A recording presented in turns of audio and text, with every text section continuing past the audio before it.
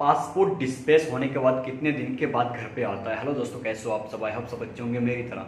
तो आज हम जानेंगे पासपोर्ट जो है पासपोर्ट ऑफ़िस से डिस्पेस होने के बाद कितने दिनों में अपने घर पे रीच होता है, कितने दिनों के बाद अपने घर पे आता है। पासपोर्ट जो कुरियर के थ्रू से आता है, कितने दिनों में आता है। इस बारे में हम जानेंगे। उससे पहले और एक चीज़ बता देता हूँ, बहुत ही इंपॉर्टेंट क्योंकि मुझे लगता है बहुत सारे लोग कन्फ्यूज़ में रहते हैं।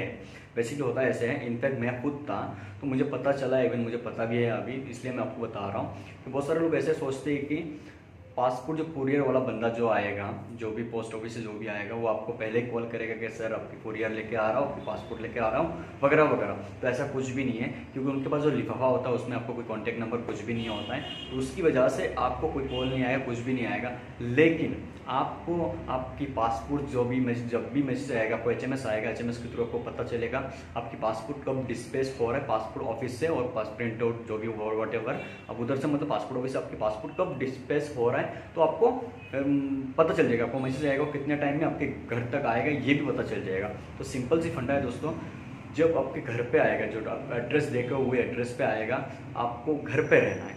किसी भी हालत आपको आपको घर पे रहना है। अगर आपकी जो पासपोर्ट ऑफ़िस बॉय जो भी मतलब कुरियर बॉय है, आपकी पहचान के तो अलग डिफरेंट थिंग है। अगर पहचान नहीं है आप में और आप एलोन रहते हो, आपको पहचान नहीं कोई तो आपको घर पे रहना होगा। किसी और को थ्रू से आप पासपोर्ट दे नहीं सकते हो। कि मेरे, जैसे फ्लिपकार्ट में हम करते हैं सिंपली कि मेरा भाई को दे दो, मेरी पेमेंट कर देता हूँ, वगैरह वगैरह। तो ऐसे नहीं हो पाएगा। आपको घर पे रहना पड़ेगा। इनफैक्ट आपको कॉल भी नहीं आएगा। जो टाइम उस टाइम आपको घर पे रहना होगा। आपके घर पे बेल बजाएँगे आपको जो भी है वट नीचे आना पड़ेगा। जहाँ भी हो आपको आना पड़ेगा आपको कोई कॉल नहीं आएगा। जो टाइम उस टाइम के अंदर ही आपको मिल जाएगा आपको पासपोर्ट लेकिन अभी पासपोर्ट कितने दिनों में मिलता है? डिस्पेस होने के बाद बहुत सारे लोग कन्फ्यूज़न में रहते हैं, जो कि आज मैं क्लियर करने वाला हूँ।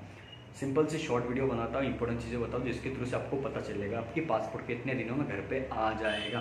तो उसमें बहुत सारा डिफरेंट होता है बेसिकली बहुत सारे लोग गाँव में रहते हैं, बहुत सारे लोग सिटी में रहते हैं। अगर आप सिटी में रहते हो नियर बाय रहते हो तो आपको दो दे, दो से चार दिन या पाँच दिन minimum five days five days तो चाहिए नहीं basically two days three days में आ जाते हैं। अगर आप पासपोर्ट के नियर बाय रहते हो सिटी में रहते हो स्टेट में कोई बढ़िया क्वालिटी के शहर में रहते हो तो आपकी पासपोर्ट जो है दो से तीन दिन में आ जाएगा। बट बहुत सारे लोग जो है गाँव में रहते हैं, अंदर रहते हैं ज़्यादा यू नो लाइक ज़्यादा आउट ऑफ़ स्टेशन रहते हैं। उनकी पासपोर्ट जो है चार दिन, पाँच दिन वन वीक या एट डेज़ के अंदर आपके पासपोर्ट आपके घर तक पहुँच जाएगा। उससे पहले आपको कोई टेंशन लेने की ज़रूरत नहीं, क्योंकि लोग ट्रैकिंग करने बहुत लाइक मैं बहुत परेशान हो गया था, कब पासपोर्ट आएगा, कब पासपोर्ट आएगा, वगैरह वगैरह वगैरह।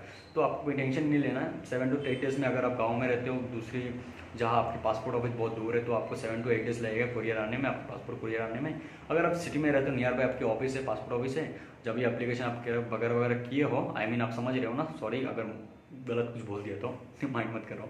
तो सिंपल सी है, आपकी पासपोर्ट अगर नियर बाय पासपोर्ट ऑफ़िस है तो आपको मिल जाएगा सेवन टू एट डेज़ में। अगर आपके दूर पासपोर्ट ऑफ़िस आप कहीं गाँव में कहीं रहते हो आउट ऑफ़ स्टेशन में रहते हो तो आपको सेवन टू एट डेज़ लग सकते हैं। तो आई होप आपको ये चीज़ें पता चली है, क्योंकि ये जानना बहुत ज़रूरी है, बहुत सारे लोग कन्फ्यूज़ रहते हैं। अगर आपको वीडियो अच्छी लगी, जानकारी अच्छी लगी तो चैनल को सब्सक्राइब कर दो, और आज 500 सब्सक्राइब कंप्लीट हो चुका है। Thank you very much for watching this video मिलते हैं अगले वीडियो में।